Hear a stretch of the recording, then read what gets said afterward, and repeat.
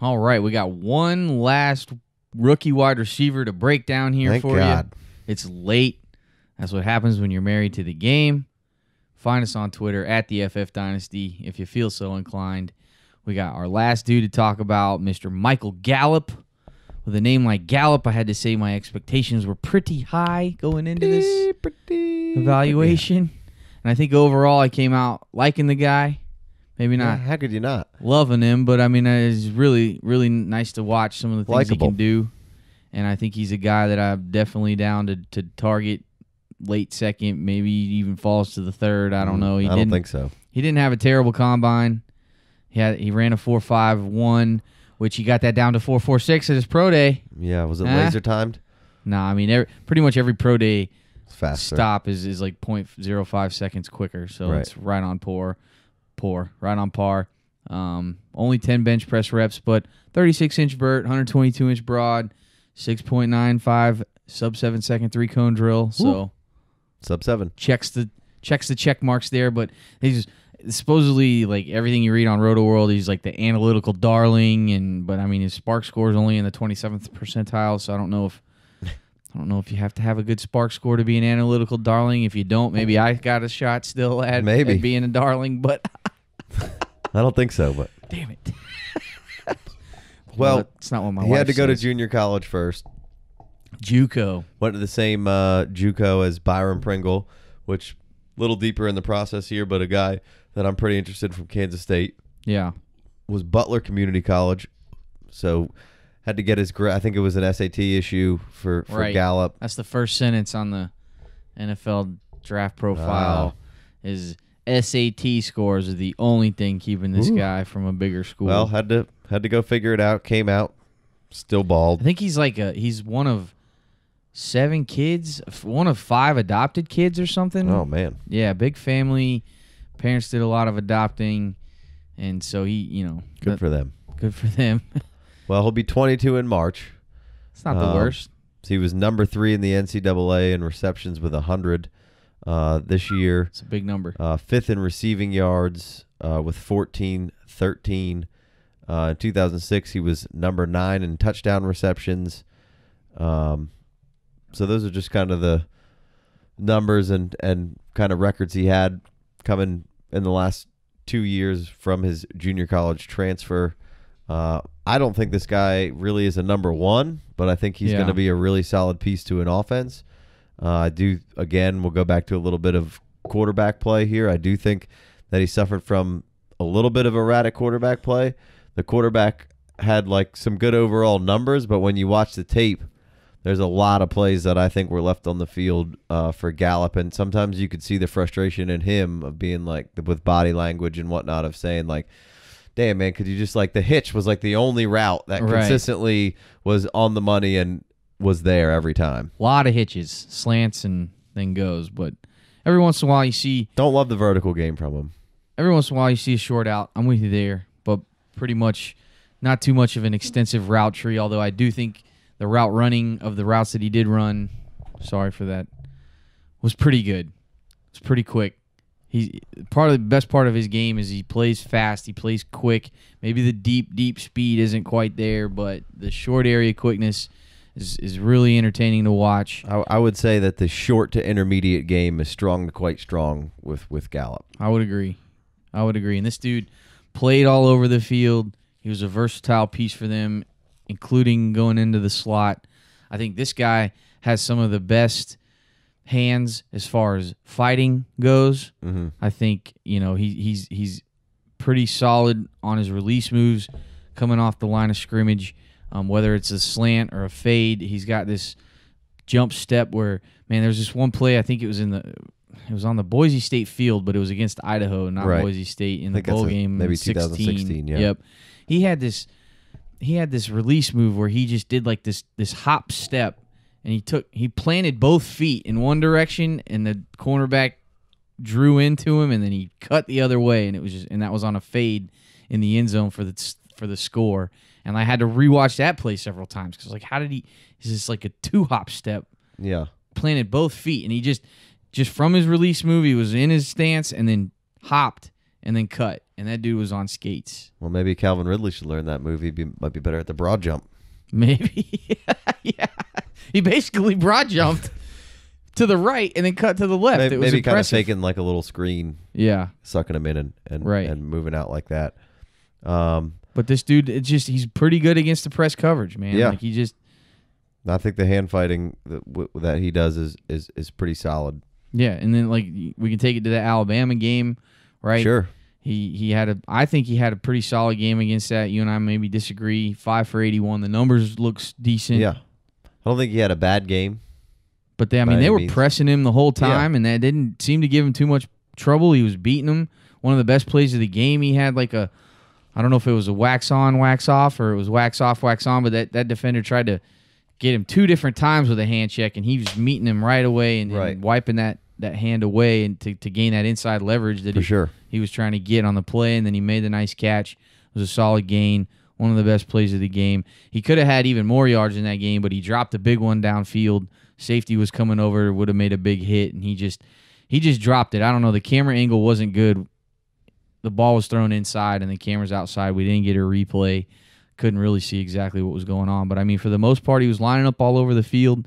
He showed you some YAC ability there. He was, he made a couple dudes miss. Yeah. This is still on the Alabama game. I think I think the the run after the catch is probably my favorite trait from him. I think he um, is extremely tough to bring down, um, and again, not as much opportunity as I would like to see Yeah. from the YAC thing because I don't think the balls were exactly where they needed to be sometimes for him to get going on the run after the catch. But it is one of my favorite parts of his game for sure. Yeah, I mean he's he's slippery. He's a slippery dude after the catch. He gains steam. He picks up momentum. He sets up his blockers well. It's it's very instinctive. You can you can tell he's good at it when Right. he's getting that when he's getting that ability when he's getting that opportunity. Right. No, I mean, I think he's got a bunch of, like I said, the short intermediate games solid. He can win in the screen uh, with his physical nature and good field vision. Um, got a physical style of play again. Doesn't mind catching in traffic. Doesn't seem to be bothered by contact or the threat of contact. Um, will cross the middle and win. All positive things, especially. I think he's kind of a more of a possession type receiver. I think Right. he'd be a great two um, on a team. Um, I think you know can certainly win working the boundary with quick feet and knowing how to work a defender. Knows how to use hands to separate at the top of the route, kind of see the curls and the outs. He's a karate kid out there. Yeah, um, and then kind of when all that hand checking tex- takes place, uh, trying to prevent the wide receiver from making his move, he consistently wipes off defenders' hands and jab uh, jabs him inside on those shoulder pads to create more space at the top of his break, which is fantastic.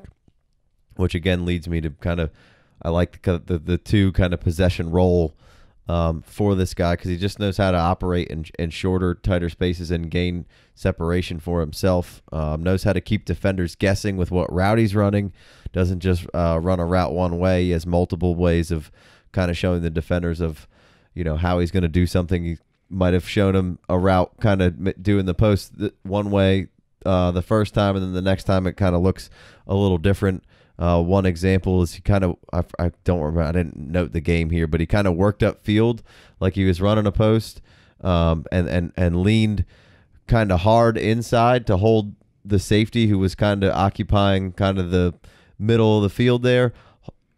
Holds him with like a, a little lean and a pivot inside, and then rips off that other foot and, and breaks it outside and, and has a, a beautiful catch Right, wide over the open top. over the top of the flat corner touchdown. and the uh, no this was this is just a first down Okay. but he, he held the safety in check and the flat he was got held the safety where he needed him to be and uh, was able to get over top of the flat corner with it with a little out basically instead of the post there uh, which I which I thought was a really good good play by him um, knows how to get the defenders to turn their hips and exploit them he'll show a defender one thing take his first step outside and then uh, like he's going straight up the field and then we'll get the uh, defender to make his moves and turn his hips and then jump back inside uh, for an easy completion and can do the same thing kind of vice versa working uh, inside and then going outside. So just got a whole bunch of different uh, moves and, and hand fighting things to, to gain separation can move the chains for you i think he can be a, a guy who can score touchdowns for your team um, and then I think he shows an ability to work a zone Saw examples uh, many times where he switched up his route a little bit um, to show the defenders one thing and get them to hold their zone, and then kind of kept it moving to that free space on the field for an easy completion. All things. He's just a smart.